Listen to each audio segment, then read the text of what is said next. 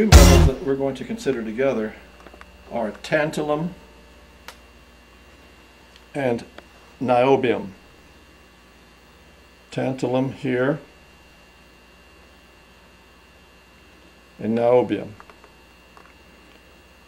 The reason we consider these two metals together is that they are in the same family of the periodic table and if you look at the periodic table you'll see that they are to the extreme left right before the alkaline earths and the alkali metals.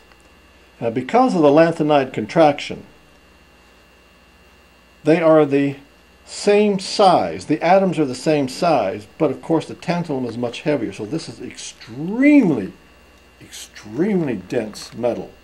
In fact, let's go over to the scales and we see that we put this on here and counterbalance that with all these pennies. Not heavy enough. Well, then, still not heavy enough. This is an extremely extremely heavy metal.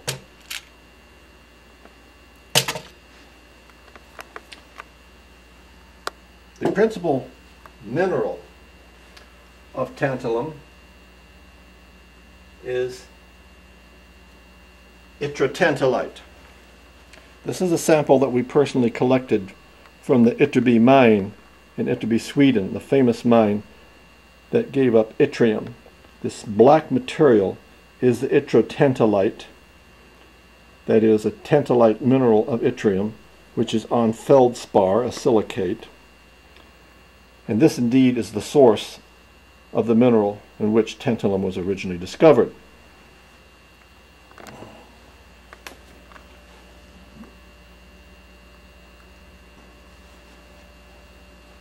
Niobium was discovered in columbite. Here's the mineral columbite.